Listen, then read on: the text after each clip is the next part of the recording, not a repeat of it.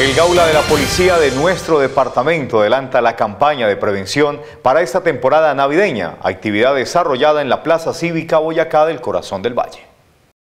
La campaña se denomina En esa actividad no permita que el secuestro y la extorsión apaguen su felicidad. Hoy estamos dando inicio al plan Navidad, una Navidad segura, eh, invitando a las familias en general, de acá del municipio de Turá y al departamento del Valle en general también para que mantengamos las medidas de seguridad, las recomendaciones, eh, tenemos las puertas del gaula abiertas para cualquier situación especial que se presente.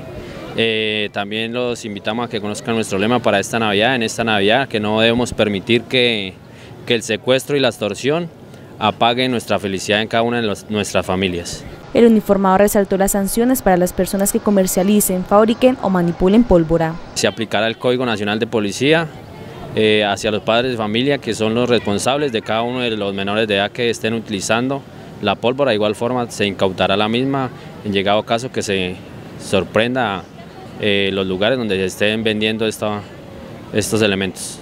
Desde la unidad del Gaula de la Policía del departamento se le envía un mensaje de Navidad para todos los vallecaucanos. El mensaje, eh, no descuidemos a nuestros niños, los padres de familia, eh, como lo decía, no, permitamos que el secuestro y la extorsión apaguen la, la luz de la felicidad de cada una de nuestras familias y una feliz Navidad para todos. En esta jornada se brindó información de la línea de emergencia y la difusión de la estrategia Yo no pago, yo denuncio.